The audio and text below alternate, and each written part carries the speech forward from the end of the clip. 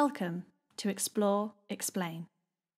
This is a long form video and podcast series sharing conversations with data visualization designers and developers from around the world. Each episode explores the detailed hidden thinking behind a single project or a series of related works to explain the what, the why, and the how of the design process. There are some wonderful guests and some wonderful projects to learn about. So let's jump in to today's episode with your host, Andy Kirk. Hello and welcome to Explore Explain. In today's episode, I'm delighted to welcome Tom Worville to the show. Tom, good to see you again, mate. Um, for the benefit of listeners and viewers, can you just give a brief introduction about who you are, where you work, what you do, please? Sure thing, Andy. Um, yeah, I'm Tom Worville. Uh, I'm a football analytics writer at The Athletic. Um, and what I do essentially, I write data driven stories for The Athletic about football, um, focused on the Premier League, focused on teams and players across the world, um, based on recruitment, performance, all kind of areas of football, um, but primarily using data. Fantastic. Today we're going to go into one of your pieces that you worked on with collaborators. It wasn't just yourself, but um, a project titled uh, Lionel Messi's 10 Stages of Greatness, which was published in August of this year. Now, at this point, I recognise that there's going to be half the people switch off because it's about football, and then another little subset of that switch off because it's Messi and not Ronaldo. So, to those people leaving us right now, sorry to see that you're going. For those who stick around, um, for their benefit again, can you just give a brief description about what this project is, what it looks like, what's in it? Yeah, so we kind of wanted to write like a definitive piece about Messi. So what it is is a piece about his career from his debut at Barcelona up until 1819, which, as we'll get into, is kind of where we have the data up until. Um, and we wanted to go through like what what are the 10 aspects of his game that we think are most, uh, I guess, obvious or, or interesting, and when did he kind of peak each of those skills? So you've got kind of a bit of a, a bit of a biography on kind of when he made his debut, and then all of these 10 skills, and then kind of from the data when was he kind of best at them, and then we've kind of defined best in, in maybe different ways in different categories, um, and then kind of interwoven with that some graphics, some charts showing actually you know that peak, and then some pictures as well to show kind of the progression or, or what um, you know what he even looked like throughout his career. Um, so hopefully it's like a, a, quite nice long essay, I guess, but a, a bit of a feast of kind of um, interesting nuggets about Net Messi from a data perspective, but also some good aspects about him as a as a person and, uh, and as a player. That's right, and it's a really nice blended piece, which I think is characteristic of the athletic. Um, you've got the imagery, you've got the charts, you've got the data, and you've got the the written form. It's not just about throwing charts out at people. It's saying here's analysis, here's written commentary. In the in the context of the athletic, so just to give people a bit of background, first of all, perhaps what the athletic is, but then in the context of the the kind of the mechanisms of how content is produced at the Athletic. How does a piece like this get even started? Is it something that you pitch, or is it pitched to you? And in this case, Michael Cox, who was your sort of main sort of shared author. Yeah. So I guess to answer the first bit, The Athletic is a um, behind the paywall sports journalism website um, covering. I mean, it started initially covering American sports, but now is expanded in August last year to cover the Premier League, and we've got a couple of European football writers as well. Um, and this piece very much came actually from the editors wanting to just sort of say, look, we've got Michael Cox, who is a football tactic expert, for lack of a better uh, title. Um, got myself, who obviously is kind of the only real data data journalist, I guess, on staff. Um, and we've got a Spanish football expert in Dermot Corrigan.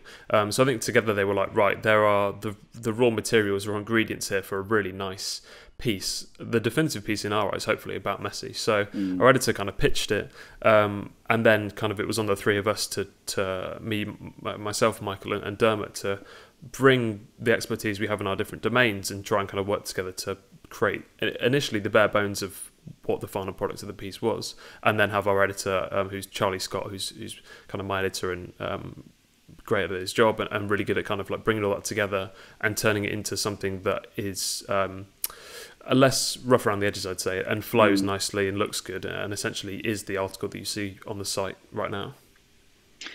And uh, the context of August of this year, um, I mean, I, I guess you started well before then. We'll come on to the timescales in a second. Why was a piece about Messi of the moment. I know that at the time, as a football follower myself, there was a bit of turbulence around his potential future at the club, which would be, you know, sort of seismic in its impact. Mm. Was that in part a trigger for looking at this topic in itself? I mean, we very much started the Messi piece, I think, at the start of May. Um, so from then up until actually releasing it, there was quite a long wait.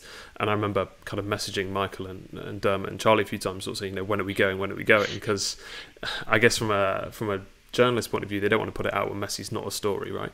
Um, Barca didn't do very well in the Champions League last year. They they didn't win the domestic league, so it was all about trying to find a nice time to to hook the piece on the back of and kind of push it um, uh, from that kind of perspective. Um, so, I mean, yeah, we were fortunate that Messi was a, a, headline to some extent the summer because of all that happened at the club. So that was, um, I guess, luck really that that happened. We were very much just pushing for we have a piece ready. Messi will hopefully do something within the next few months, and we can kind of tack on the back of that. Um, and yeah, that that was the main reason really. And I suppose across all the different topics that the Athletic will cover, there's a blend of some that are kind of evergreen pieces that will be timed whenever perhaps there's a gap, um, and then others that are just you know very much reporting on the current affairs of the of the sport. Now, with respect to the the work that you and Michael and, and Dermot pulled together, how did you work together? And I'm you know we're talking about pandemics, we're talking about lockdown, working from home, largely. How did that kind of work out in terms of the actual process that you three went through to to collaborate on a piece? I mean, that's not necessarily as simple as you just going on your own to produce a piece yourself. Yeah, not at all. Uh, it was probably the biggest project I'd undertaken as well after joining in February. So it was very much kind of a, um, a first in terms of how we're actually going to you know divvy up this work and, and create the final product. Um, I mean, the truth is we just did a lot of discussion through Slack. We had a Slack mm. channel with the three of us, our editor, throwing ideas in, and and initially it was how like which way are we going to go about it? Because i think michael's initial thoughts were these what these are kind of the stages of messi's career and what he was good at at each stage. And i looked at it a different way which i think is a far easier way from a data perspective which was what are 10 skills we can measure with the data we have and when was he good at those 10 skills? Mm. and i think that lent itself far more from a kind of data perspective, from a you know how do we actually mind what the stories are perspective. Um, even though Michael's potentially is the more, I guess, focusing it from that perspective and doing it in a kind of a chronological. This is what he was best at throughout the years. Um, may have flowed better, but it was just the the fact that we needed to rely on the data to kind of make this the piece that it is. And I think right. in the end, we all agreed that was the the best angle. That's interesting. So that in a sense, there were perhaps two gravitational forces there usefully. Mm. You know, what's interesting about you know someone who's such a, a superstar footballer, and then actually what have we got to evidence in terms of data, and then how do those things collide? Because I can see how he, you know, with such a long career, and he has, you know, his career has evolved from this prodigious talent to this prolific superstar to perhaps a, a more efficient player in his latter years, but you know three stages is not interesting. So I think it's it's interesting how you did divided that up, and we'll come on to the the ten topics um, in a, in a while. Mm. With regards to an, another aspect of people, which is the the readership. Um, obviously, the athletic subscribers is in itself a you know a subset of any reader that could ever read this piece in itself. But I wondered if within the work that you and Michael do is that a, a, another subset even further within the athletic subscriber group? And therefore, who are you thinking of when you're thinking of who's going to read and consume this work? Yeah, I, we definitely wanted to make it as accessible as possible. So we want people who are, you know, casual football fans to be able to look at it and, and take something away and understand when Messi was best at, at different things. Um, and I think that you kind of see that in the way that we maybe try and um, it's presented like clicking on the article, getting to the article. There's not a lot of like mention of this is a data, you know, mm. really heavily data driven piece. I think that that sometimes when you signpost people and, or a, an article and say this is stats heavy, you will naturally turn people off. Whereas you, you kind of want to sometimes like sneak it in and mm. get them to into the article and then realize this is a lot of you know there's a lot in here but hopefully by that point they're interested and they're reading it so um, i think that yeah the focus very much was just make it first and foremost about Messi, and then just so happens that it's it's very data driven. And, and actually, yeah, I mean, when you look at the content, you've got quite a few photo images to begin with and mm. a fairly set up article before you even get into the the data, data side. So I uh, I can completely imagine that being sort of thought process there. Um, and of course, it's a long form piece, so there's an expectation there that any audience who's coming to this will be um, able to give and willing to give, you know, a bit of their time, a bit of their effort to to process this. And again, I think that's you know, from the outsider as a subscriber, that seems to be what the Athletic are, you know, in many ways about, you know, although it's a fast moving sport and a fast moving world of journalism, it's also within that there's room for slow journalism and sort of bigger pieces and, and long form pieces, which I guess newspapers don't necessarily give the, the room for um, anymore. Um, I'm also thinking, I know that you're somebody who's really um, considerate and concerned with the ability of audiences to make sense of the analysis and the charts and the graphics that you that you put together. And do you therefore are you therefore modifying your natural approach when you come to putting together the charts and the graphics that we see in this, in terms of perhaps being reluctant to use slightly unfamiliar methods, or do you know that because people spend time with this, it doesn't really matter if it looks complicated because they should be able to get through the, the process of reading I feel it's probably a mix of the two. I definitely, you can see from when we get into like the choice of charts, there is a very much kind of a, a visual vocabulary I try and uh, kind of enforce upon the reader early doors, where it's like, right, this is the chart that's going to show trends over time. You're going to get familiar with this, um, and hopefully make that as simple as possible to kind of read and understand. And there's a few more, I guess, set piece graphics in there, which allowed me to you know do something a little bit more creative, um, mm. which arguably are the, are the more illuminating. Um, I mean, again, we can talk about those later, but I, th- I, think it was a mix of the two of having something or a chart type which people have seen before, and also um, display the information in such a way that is easy to grasp and get straight away. Um, mm. and then another which is something a bit different, which makes them go, "Wow, I've not really seen this before," or at least hopefully that's that's a reaction. That's right and it feels like there's a there's a blend. Again, we'll come to it later, but there's a blend between sort of setting the scene of when did this thing happen, or when was this thing at, at its peak, and then let's explore that thing a little bit more deeply, which I think is a nice a nice sort of blended approach for different levels of graphical literacy out there. Um, so within a piece like this, uh, what's the process that you work towards internally uh, towards signing this off, completing it? you know, when does it kind of get the thumbs up from the boss to say, right, that's it, finished?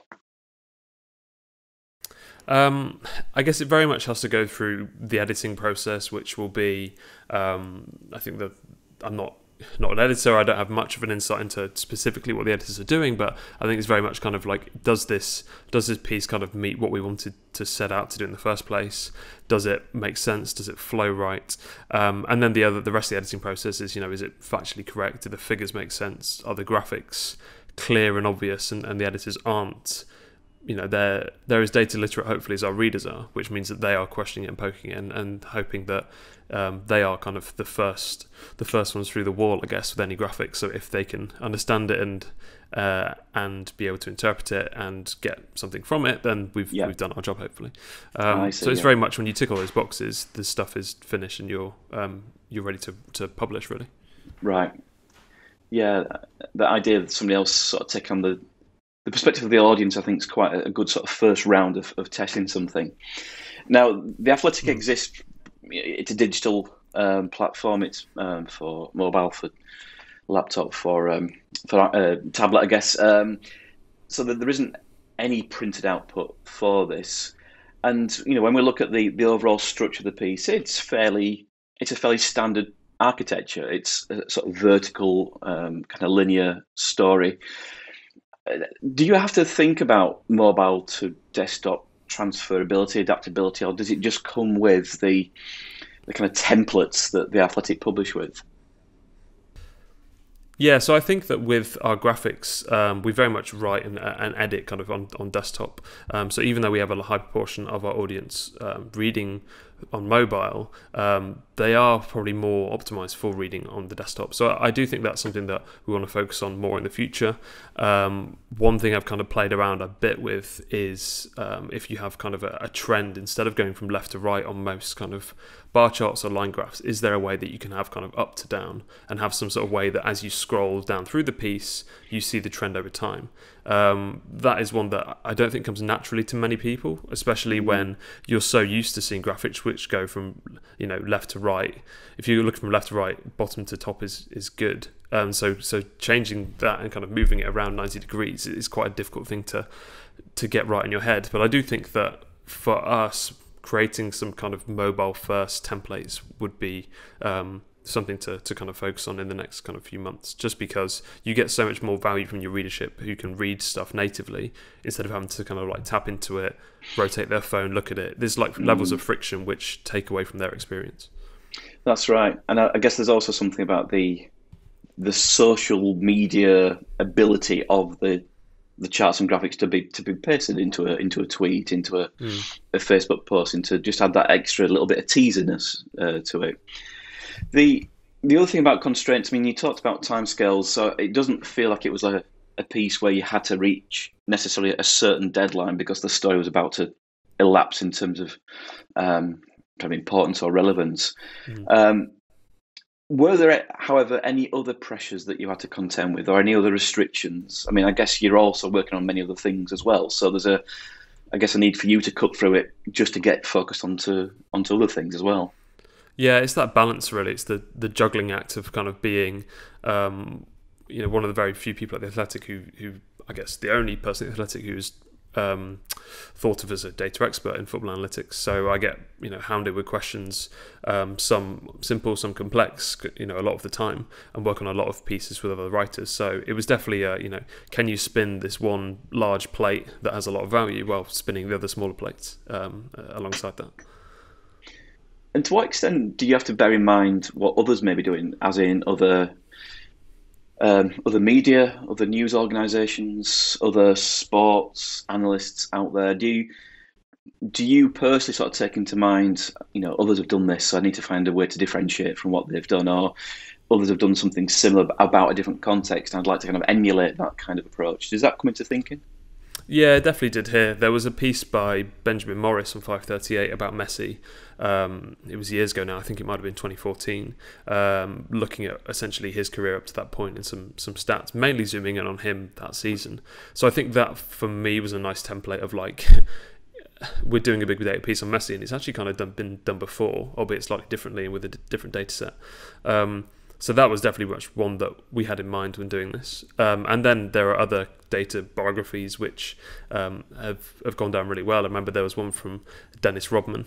Um, again, I think it might have been by by Benjamin Morris, which is one of the very early sports analytics long form pieces, um, which I kind of lent on in terms of you know if this is a um, you know a hall of fame piece of sports analytics mm-hmm. writing. How do we how do we uh, you know emulate that and how do we mm. take what makes it so good and apply that to our, own work interesting yeah i think it's I, I, think there's sometimes a bit of a grey area with regards to people being inspired by other works and there's sometimes a little bit of hesitancy mm. that they don't want to acknowledge that something inspired in case there's a sense of you know i don't even plagiarism or copying but yeah. um, why not why not build on what others have, have done successfully and, and be inspired by by those things you mentioned their data. I think we should move on to looking at the, the data itself. Um, I mean, there's, you know, if we look at photography as data, we'll, we'll touch on that in a second as, you know, the sort of origins of that um, bunch of assets. But the, the actual data that you use for your analysis, um, StatsBomb is referred to a lot. Can you just talk about where the data came from and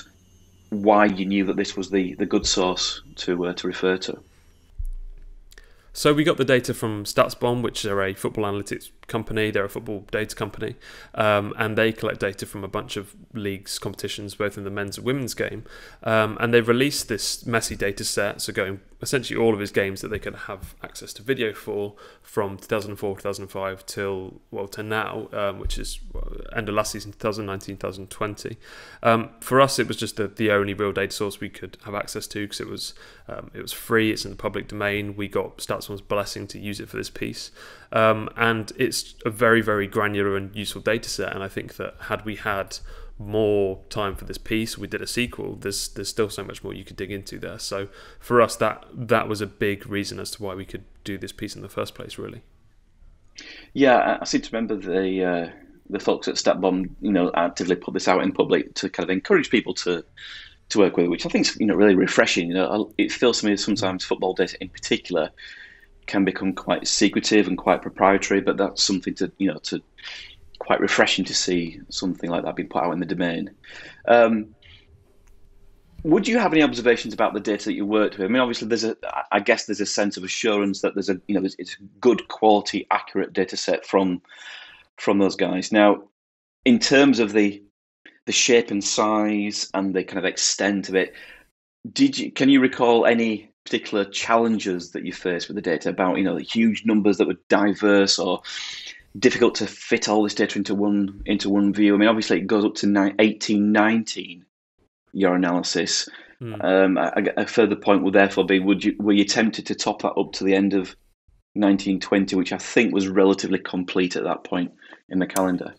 Yeah. Um, so, I mean, the StatsBomb data is uh, what in sports analytics we call event data. So, every single row relates to an event or a ball touch, really, that happens in a game of football. Um, and I previously worked at Opta, who are a kind of a rival supplier, and I've worked with data of that type many times before. So the biggest challenge for me was trying to kind of get my head around this slightly different data spec, um, how it looked, um, and essentially, yeah, learn what this this data frame now look like versus one that I was so used to seeing um, kind of in my mind's eye when I think of using event data.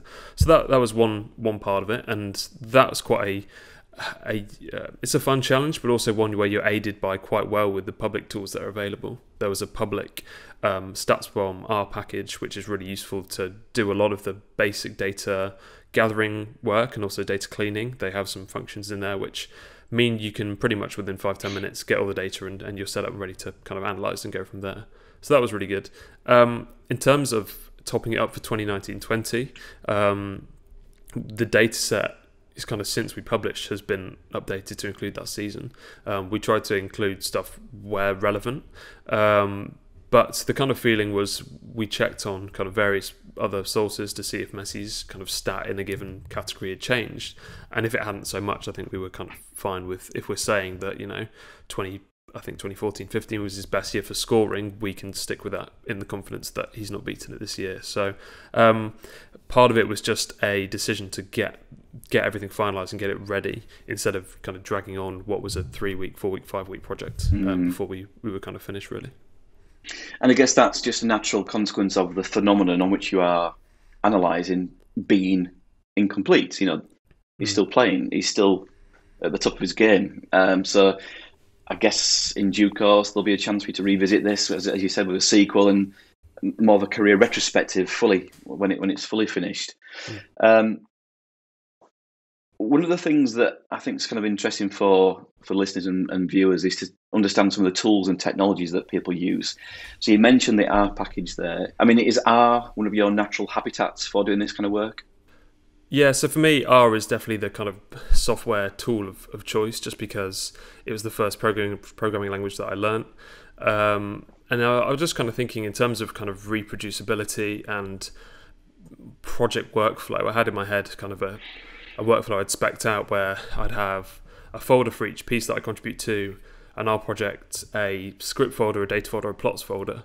And I think that that is, in my mind, the most clean way of doing it. And I didn't really have a good Python alternative that I could I could lean on. So I just mm. kind of mm. made that choice early on in the days at the Athletic, and it's kind of paid dividends because I'm not um, having to change workflow mid piece or, or, after a few months. So um, yeah, I, I started using that and just kind of stuck with it really. As you said, the you know the, one of the benefits. I'm I'm not talented remotely in R, but I know that one of the benefits of it is the reproducibility. You know, once you've written a, a routine, you can recycle it and reuse it if you're using very some very, very similarly shaped data for further inquiries. So, yeah, there's almost investment there to to benefit later on. Um, we're about to sort of, sort of move into the discussion about the contents, and just as a sort of bridge between those, the, the photographs that we see in this piece, you know, I, I, I feel we should see these as another uh, another asset, another piece of data to enrich the story. You've said that it's a nice um, additional um, type of media to, to blend the whole thing together. How do you go about finding and selecting the image? I mean, I guess is it fair to say the Athletic have access to a big photo library from which you can you can dive in and pick some?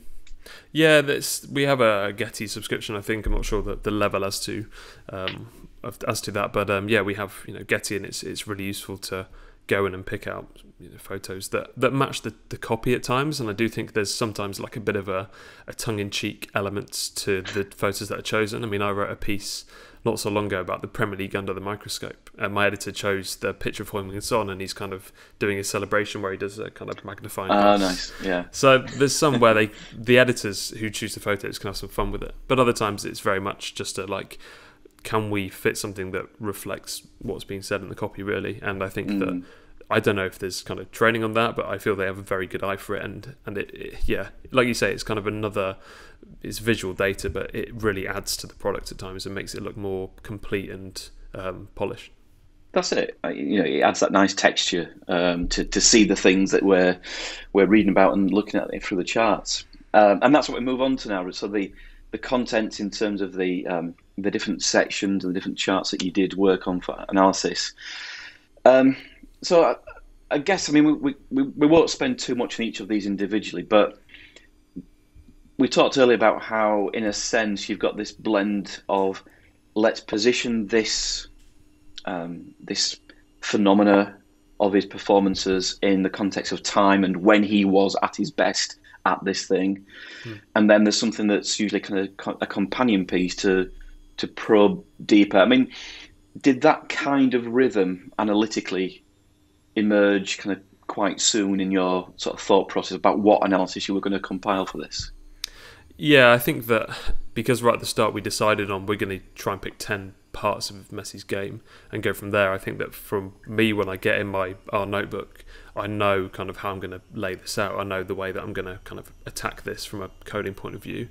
Um, and I think that, yeah, it was definitely really useful because I initially was thinking, right, if we're going to have a similar sort of chart for each section, we can build the template for that first and kind of lean on that from there. Um, so yeah, it was definitely useful to get that sorted out at the start, and then that was very much a, a, bit of an iteration process on can we this kind of chart selection which we use, can we kind of nail this down and make this kind of signed off first because it's going to power a lot of um, a lot of the points we're trying to make at times. And you said there that the, the sort of ten came first, and does it help to almost apply that arbitrary constraint to help sharpen your focus about sticking to you know the, the real most important metrics or measures of his performance and not end up with 20 30 40 different things? Yeah I, I think so purely because it time boxes a little bit and it means that you can say right i know i've got to get these 10 things and dig into the data to create outputs on them and i know roughly how long that takes so we can we can start to you know plan for release. We can start to plan when we can actually have deadlines for this. Ah, um, oh, right. And then the flip side also is the data is so vast. Like there's every single touch of every player in every game that Messi's played back to 2004, 2005. There's so many dimensions you could cut there. I think that without that constraint, kind of like what you said, you are going to be sit there and. For me, I definitely think that I need those constraints in place because otherwise I will just wallow in um, I don't know, struggling to find focus at times. Mm. And I think that that for me personally is really helpful to say, right, we're just going to have 10 things, uh, let's discuss them, here they are, then go and go and find them in the data. Right. So, yeah, so, so what you're saying is that, again, there was this sort of back and forth between perhaps yourself and Michael with saying, here are the things that I'm finding through the data. And mm. I guess it's not just a, it's not just a random fishing exercise. You know the sport, you know what you're kind of hypothesis will be about what you think he's probably very good at. Yeah. And then I guess you'll just sort of marry that up with what Michael's prompts are saying to arrive at a, a rough outline. Would that be the, the general process that you might have gone through?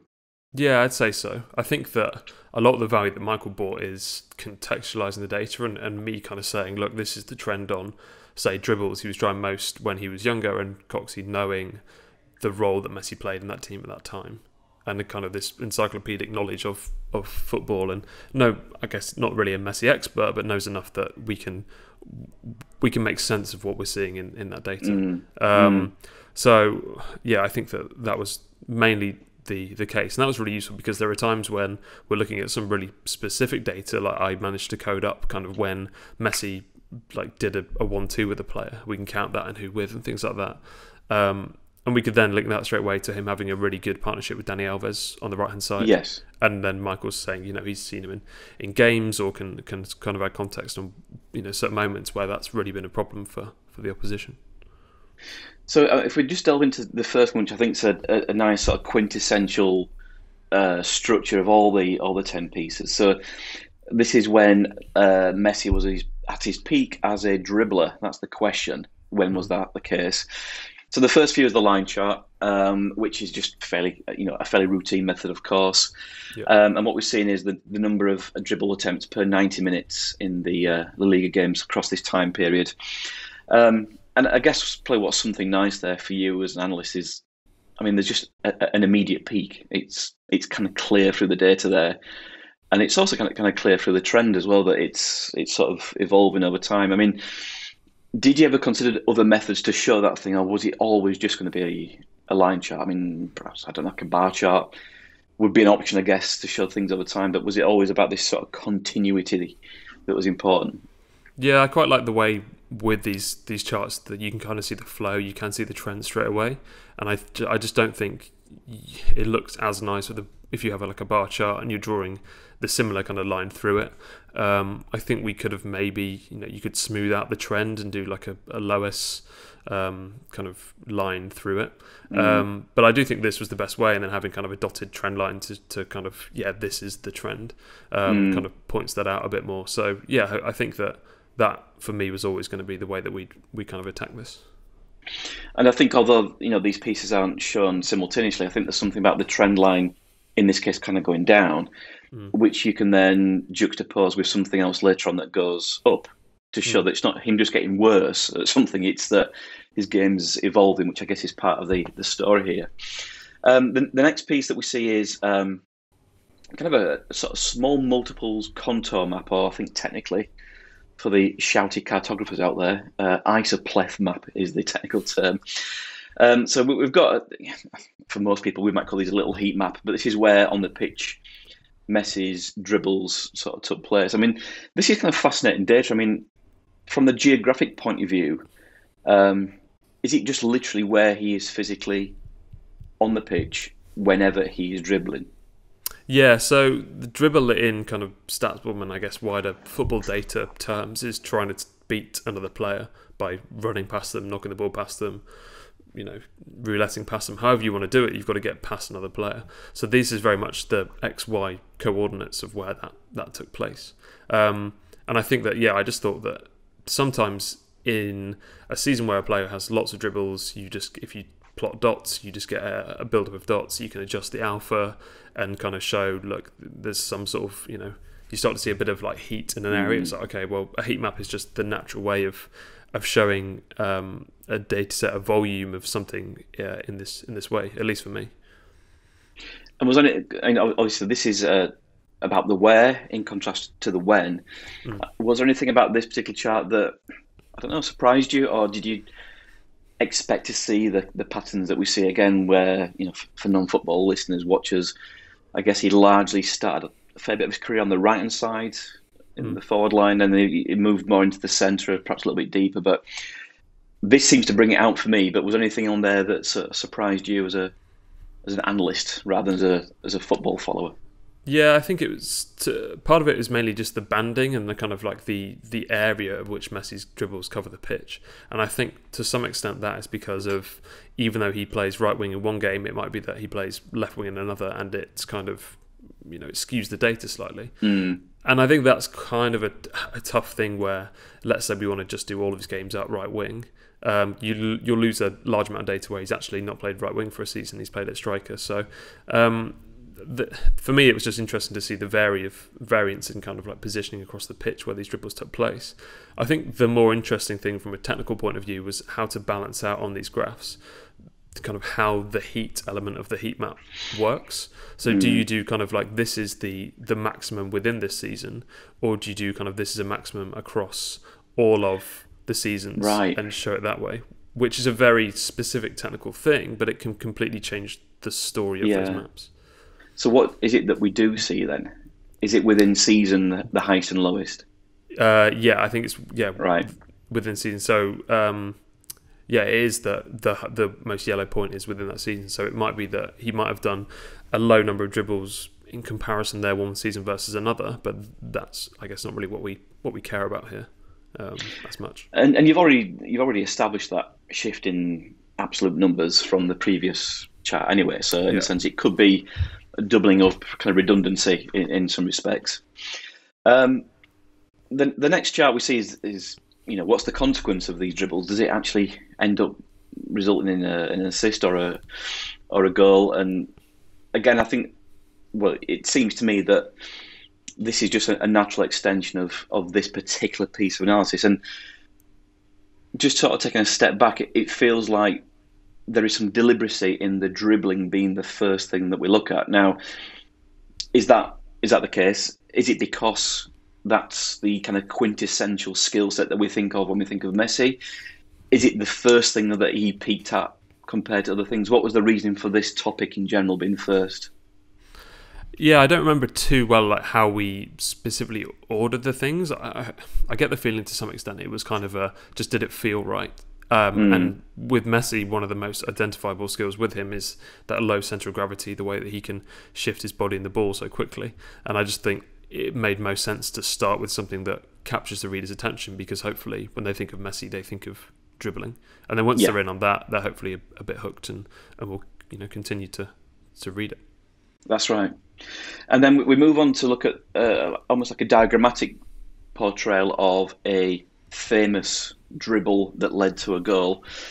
Um, now, later on, we get slightly more um, sort of video, still frame by frame uh, views of these moments. This is more of a helicopter view with kind of old school sort of drawings and diagrams of the sequence. Why did you land on that treatment for this particular con- content item? I think it's just being able to overlay multiple examples at once. I don't think it's possible with with doing stills and photos, and at least like the way that we can carousel graphics on the site, I think doesn't lend itself too well on mobile. And maybe that you know, if, you have a, you know, imagine like an image carousel where you can say, here's the first dribble, swipe right, you see the second, swipe right, you see the third. I think maybe that could have worked, but here I just Yeah. thought there's data points as well we want to show. So on the graphic, we are talking around the speed of which or the duration of which he's on the ball to create a chance to score a goal. Um, so there's an example of against Zaragoza, um, he has 1.6 seconds on the ball, beats a man and slots it bottom corner. And I think that that's a nice thing to be able to show. Um, Yeah. You're not going to be able to get the rights to show video. We can't show GIFs, so let's try something slightly different and, and achieve the best of, of both worlds. Mm, absolutely right. Um, and, and obviously, we've we've kind of set up the helicopter vantage point from the previous small multiples map view, so it's it is a sort of an extension of that kind of commentary uh, perspective, at least. Um, as we move through the, the other section, I'll go, go through these quite quickly. Um, so we move on to looking at when he was peak as a right winger, as a false nine, as a goal scorer, as an assister. Which of these other topics did you feel, I don't know, re- revealed something especially interesting from your point of view again as a as an analyst? Do you feel that there was something that I don't know surprised you or nicely supported a, a preconception of I wonder if this is a thing? Ah, it is a thing. I think it was the goal scoring. I think that Right. M- Messi's numbers as a goal scorer, and this kind of answers a question which I guess we'll get into a bit in terms of like comparing him against other players. His numbers are so freakishly good that I think that um, sometimes it's kind of unfathomable that he can score at the rate that he does. And I think for me, I've not watched enough Messi, or I haven't up to this point, and I think it it kind of shook me a bit in the way that I was thinking there's probably not many years left of him at this level. We won't probably have a talent like this ever again, and I, it just kind of really put into perspective just how good he is. Um, Right. So for me, that was you know kind of a nice moment of. Um, you know me being the reader and getting the reaction that I hope some readers got for like wow he is actually he's this incredible um, really and it's it's a nice moment that I, I can't remember. Who, there was a quote from someone in the dataviz field once who who sort of said, "You've you've reached this level of um, immersion in your data when you start to be surprised or you start to feel this sort of glow of warmth of a discovery. And I think that's kind of that's kind of captured that. And I mean, I really like the as well. I think this kind of again reveals this phenomenon of his goal scoring feats, which is this um, connection map of the, the different places, positions, techniques, methods with which he scores a goal. It's not just he scores 60 or 70 from the six yard box. It's such a varied, rich array of different dimensions.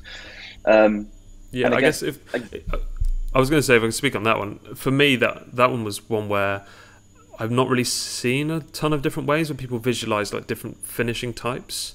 And um, I just thought it was it was really interesting to see the variety of finishes. And when a lot of the times in, and this is very specific, but talking about way that players score goals in in football analytics terms, it's you know he gets this xG and and he's above or below, or he's he has mm. this many shots, and there's not a lot of like identifying different finishes and just showing them and showing that yes, mm. this player has a variety of like ways that he can score in his in his locker. Um, and it's one I've seen kind of replicated a couple of times, which in the piece, which is obviously always a, a great thing to see that other people see the idea and they're like, "Oh, this is neat. Let's do this for for Nicolas Pepe at Arsenal," which is someone, yeah. uh, a guy called John Ollington, kind of wrote a, a, similar piece to Messi, but was doing it about about Arsenal and picked out that Pepe at Lille um, had this, you know, variety of finishes. So that for me was a really fun one where I created something I probably haven't seen before, and that was again, like you say, it's that that glow, that warmth that you've um, mm. you've done something that you find really interesting and um, kind of brought it to life. That's right. And would you again? Did you consider any other methods for that? I'm just thinking. I guess the classic. I'm thinking like the the classic display of the penalty uh, kick about to take place. You've got the different outcomes of previous shots. Mm. Were you ever thinking about the sort of you know the sort of the goal layout and then just put the balls in the net? Were were there any other thoughts about how you might show that? Yeah, I always find those placement maps like are very much they're probably quite reliant on where the shots are from.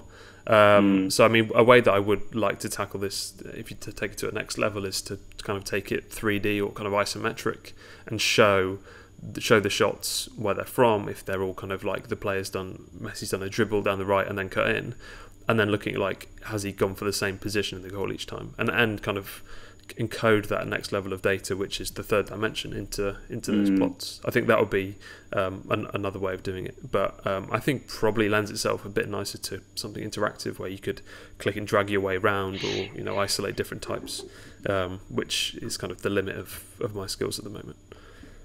And actually, we'll, we'll come on to interactivity in a, in a second, um, or perhaps more commentary on, on the, the absence of it um, mm. in this case. But on that note of sort of isometric displays, another um, view later later on in the piece is kind of annotated arrows onto stills of a, a video frame, which does bring the sort of 3D perspective to life and lets you see a, a moment build up.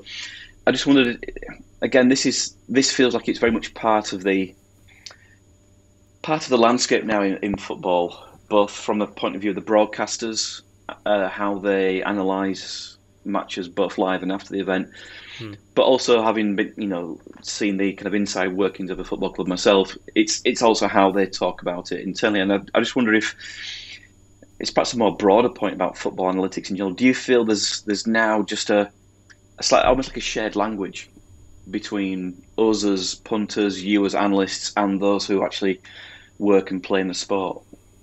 Yeah, I, do, especially with this, you know, the whole kind of line drawing X and O's world that is, is, so I guess was so foreign in football until maybe you know mm. ten or so years ago, and it's it's something that you probably see far more in American football and um, the kind of John Madden school of annotating the screen before the play actually happens. Um, but yeah, I think it's interesting. I, I do think or do wonder like where that's come from. Has it come from the explosion in popularity of Monday Night Football? Um, from you know people like Michael Cox or Jonathan Wilson kind of coming to the front of, of football writing and providing a different angle. So yeah, I think that it's nice to know that now football media is thinking about the game in a similar way that those in clubs and those who are you know quote unquote professionals are thinking about it. And I think that that brings the fans closer, and that at the end of the day is, is what any fan wants. They want to get inside the head of the coach and and be able to think along the same lines.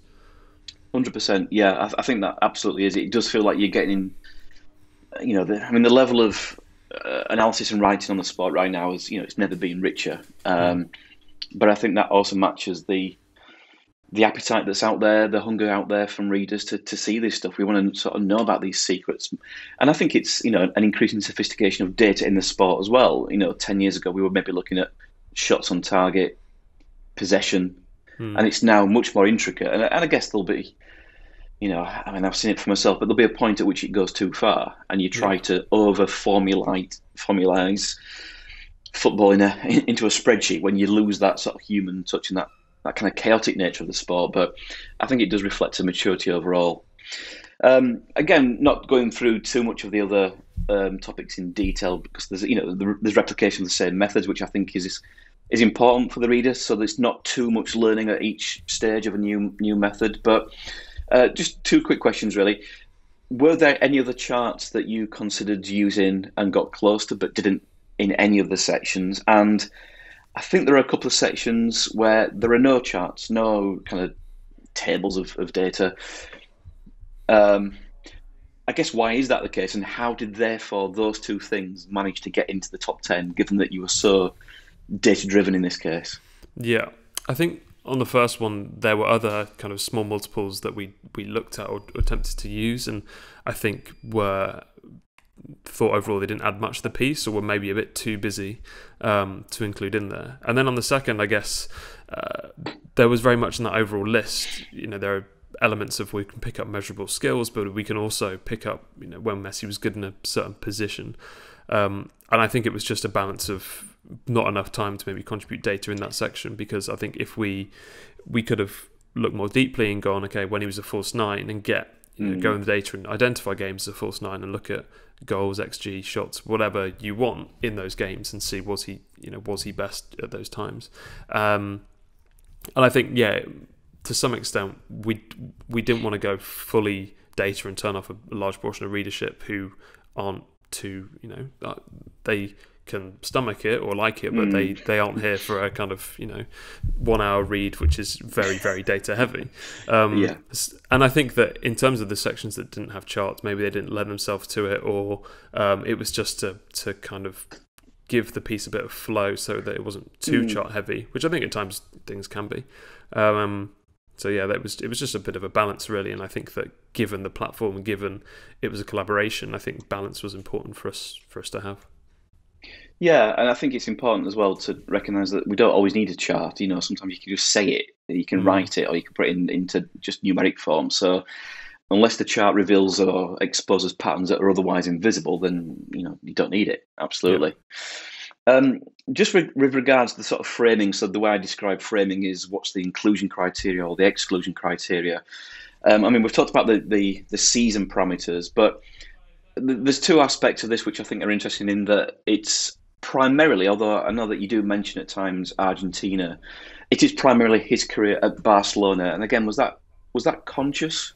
Were you tempted to bring in some some numbers to sort of add the kind of international performances?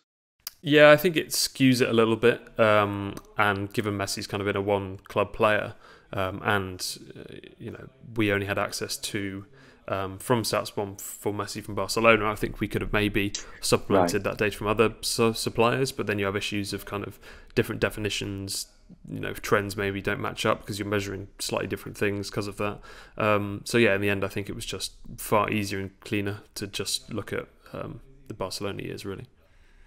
And I guess that, in a sense, answers my next question, which is: Were you tempted to compare him with others? So not just you know the inevitable comparison with Cristiano Ronaldo, but yeah. you know others who have been exceptional dribblers or others who have been fantastic false nines.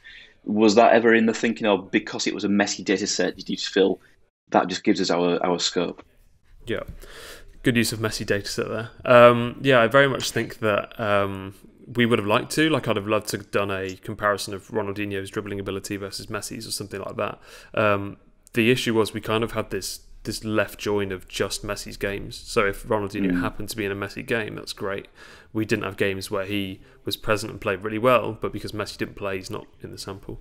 And it's the same with kind of Ronaldo. I think we, we had around 30 games. That might that's kind of a figure plucked out of the air, but say 30 games of Ronaldo when he played against Messi, and I don't think it's a large enough or reflective sample to compare those players in because if Ronaldo's playing Barcelona, that's a tough game for Real Madrid, and it's mm. not reflective on the fact that Messi True. can go and play go and play teams who are you know of differing quality, and Ronaldo couldn't. So it, it was a sample bias really that meant we didn't do that, and I think that in an ideal world, you you definitely look to compare Messi against you know mm. Samuel Eto'o, Ronaldinho, Thierry Henry, etc. etc.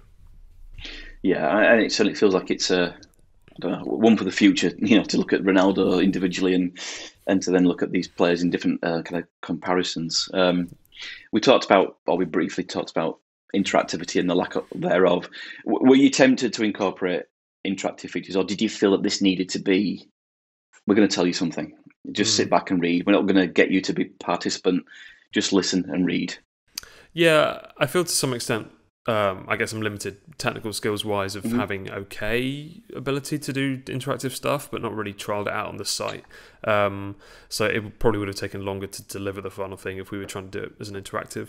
Um, and then on the flip side, it's like, does or you know, do we have the capacity to build out an interactive and, and can it actually work well from a user experience point of view? Like, does, does the app allow, or the, the way that the app is engineered, allow people to actually use whatever interactives we build. So right. I just think that that was out of scope to begin with, just because um, of the, the various difficulties in place to actually have an interactive really. And static for me is kind of bread and butter at this point. So it's very much if we want to deliver this piece within the next you know three to six weeks, this is the the track that we'll go mm. down.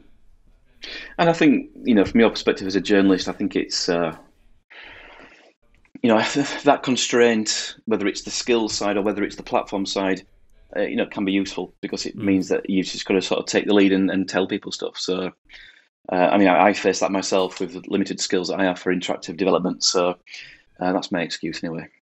um, just going through some of the other design features before we wrap up. Um, the annotation, I mean, the, the biggest annotation, I guess, is is the is the copy, is the is the article. Is that something that you contributed towards? Did you do writing as well as Michael, or did you again sort of divide things up so that maybe he did that, you did the charts, and then you sort of cross referenced each other? Yeah, the the process is pretty much kind of have the sections in a Google Doc and add when ready, really, and then right. kind of go back and and I guess apply a second layer and, and, and add additional information or commentary around the sections. So it was very much a kind of for me at least, both creating all the charts and then either writing about the charts, writing a bit more background or context, and then Michael kind of chipping in and, and adding where useful as well. So um, yeah, very much a, a, collaboration and iterative process to to kind of pull it all together, really. And I guess I mean we talked about the you know the lockdown pandemic before that.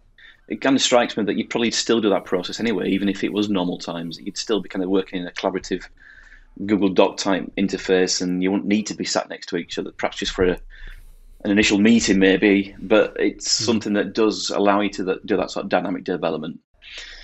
The I mean, the other annotations would be the kind of classic apparatus of titles and headings and, and um, grid lines and, and, sort of labels. And, you know, I, I, suppose one's always trying to find a balance between not putting too much clutter on a chart whilst also trying to be uh, sufficiently explanatory to the audience. Did you, I mean, it, it, have you developed perhaps maybe not a house style, but your own style for what you find is the sweet spot for that? Yeah, I think that it took a few months, but definitely like realizing that grid lines.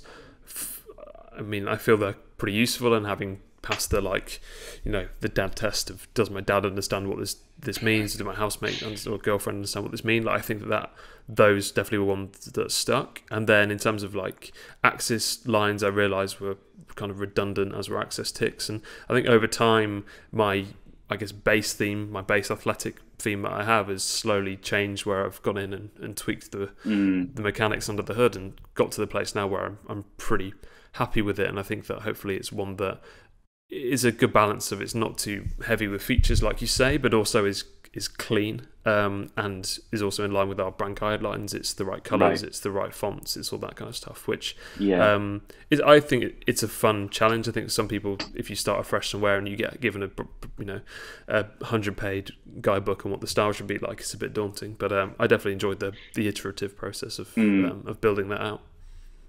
And you talked about color. Obviously, we've got this um, you know, we've got the colours of Barcelona, which seem to be uh, a conscious choice. Again, was that something that you set out with as an intention for the kind of Catalonian blue, yellow, sort of purple colours, or is that just something that you felt in the absence of needing to pick any other colours, I might as well just sort of apply that sense of, you know, slight decoration to it? Yeah, I think it's one I probably fell into more. It's probably trialed it and then stuck with it because it, it I think it looks quite neat against the the black background, the mm. contrast between the red of the points that we have and the yellow, which is are both kind of official Barcelona colours, works quite nicely. Um, the one thing I would like to point out is the kind of and this was me kind of playing around, but I used a um, I can't remember the name of the package now, but it's uh, a way of kind of highlighting a specific point and providing a glow behind it. Um, oh, okay. And you see that usually on the on the point that's highlighted, there's like a small white glow behind it, um, and that's something that I'd seen from Kirk, Kirk Goldsberry, sorry, who is the kind of ESPN basketball analytics writer, and I've wanted to find a way to do it for a long time because Kirk's the way he does kind of his charts sometimes they're really aesthetically pleasing and, and sometimes like the points he wants to highlight have shadows behind them and i just thought it's such an obvious and neat trick to do but never mm. really worked out like a nice way of doing it anyway found a, a package which kind of can help provide glow behind points and that for me was one okay. that um, i've tried to use another piece as well and, and kind of highlight the player that or the, the point which is of interest well i was going to ask about that because i wondered if you did any uh, sort of finessing in Illustrator, for example, or was it all produced within R So all the design flourishes like that that we see, they're all contained within that within R itself. Yeah, all, all in R. I try and do that as much as possible just to speed up development of, of, of mm. charts. Um, there are a couple where there might be kind of quite obvious kind of drawn lines or you know, circles or things like that. Um, they're usually done in Preview on Mac, um, just because it's the what I found is quicker to boot up, do it, and save it and close it than anything else I've used. Um, so out of pure laziness or efficiency finding, whatever way you want to put it, um, that was the the kind of tool of choice there.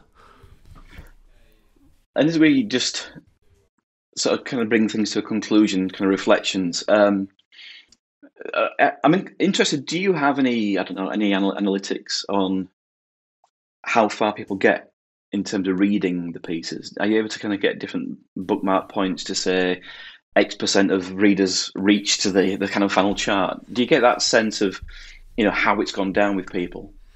Yeah, there there's some analytics we have. I'm not sure I can disclose kind of the granularity no, of, of which, but um, yeah, there's definitely stuff on kind of you know number of reads for a start. How many times do people get to the end of a piece? I think they're fairly standard across mm. industry.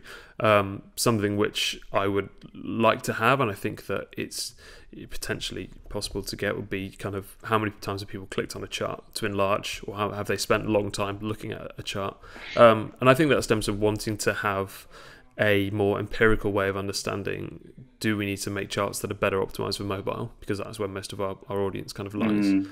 um, so yeah there's the there's there's charts that we have and we kind of access have access to, sorry metrics we have access to and, and kind of you know will dictate sometimes the way that pieces are, are written. Um, which for me is interesting because this is a first job in, in journalism, but also b this is very much I think at the forefront of the way that um, sports journalism is, is, right now. I can't imagine ten years ago if you're writing for you know wherever the Guardian, you're not getting metrics feedback on your pieces. Um, so for someone who's obviously quite analytical at heart, given we're talking about this subject, that is uh, a, a, quite a neat thing to understand and, and have a, a good feedback loop really. Mm, of course, and you know, you, I'm sure you've got the appetite to learn for yourself which charts are going down well, which methods are connecting with people, which ones maybe are, are still perhaps a bit abstract, which may in due course become something that we are very familiar with, but for now it's maybe just not universal. I mean, I, I guess the other aspect of feedback is always the the comments. Yeah, and uh, I mean, even in a in a in a in a site that's for members only, in in a sense, you do get some crazies in there. I mean, I was looking browsing through, and by the way, most are absolutely hugely complimentary. In fact, it's it's actually quite a nice space. Is the comment section on the Athletic, mm. but there are there are always the ones that go great article, but yeah, and then uh, here's some kind of comment about Ronaldo. Um, there's then the kind of counter argument, which is no StatsBomb metric on bottleneck men- mentality, shame. So there's kind of some funny stuff there. Very satisfying read, and if I may help it, perfect. Thank you very much. Uh, yeah, he's a really good player, which kind of downplays things. But um, how how much do you, you know, how much do you place on sort of feedback like that, and or through social media? You know, when you're kind of launching this sort of work. Yeah, I find the comment section actually really useful to to gauge feedback. There's a, I guess, a bit of ego massaging as well that takes place, which is probably not wholly productive. Um, but it definitely wasn't something that as I came to join the athletic I was like used to doing or you know you're always kind of I think taught as soon as you're on the internet from a given age like the comment sections are always quite dark and, and awful places um, but I'd agree the athletics comment section is usually pretty friendly there's good debate on on pieces and mm. I think that the readership is at a point when they're providing if it's if it's I don't know, it's not exactly aggressive, but if they disagree with the point, it's usually brought about in a way which is kind or at least respectful that this is someone's yeah. piece of work. They've not just like woken up and stuck it on the site, like effort has mm. gone into this. Um, and I think that I do generate and harvest a ton of ideas from the comment section. Um, and you do get some people who definitely like think about the game extremely analytically. Um, and that is is interesting because you're having conversations with like-minded people, really. So, um, yeah, I, I really enjoy interacting with, with our writers on there. It's uh, it's good fun. Yeah, I think that's right, and you know, we the whole point of all this endeavor of anything to do with visuals or an article is to help people understand things, and I think the the best pieces for me, and it goes back to your, the point you made before about that sort of warmth of seeing something yourself is, hmm. you know, if if you are med if you feel smarter as a consequence of reading something, then you know what what else can you expect of something? Or if it's even if it's just reinforced something that you suspected, you know, we yeah. might suspect he's a brilliant player. This maybe reinforces it or reveals something new. So, I think it's uh, it's nice that that kind of community of feedback and critical critical friends does exist, even if it's beyond the the staff who are already giving you that uh, already. Anyway, um, Tom, that's been fun, fascinating. Thank you ever so much for going through the you know the the, the details of what's been a, a hugely detailed piece and hard work. I'm, I'm absolutely sure. Uh, thank you for, for your time today, sir. Much appreciated. Thank you to everyone who was listening, watching out there, and we'll see you again soon on another episode of Explore Explain. Thank you. To see more information about today's episode, including some links to key sites and resources mentioned, please visit my website at visualisingdata.com. Here you'll also be able to find details about my book, information about my public and private training courses, as well as over a decade of blog posts. If you've enjoyed this series, please consider liking, subscribing, and spreading the word. See you next time.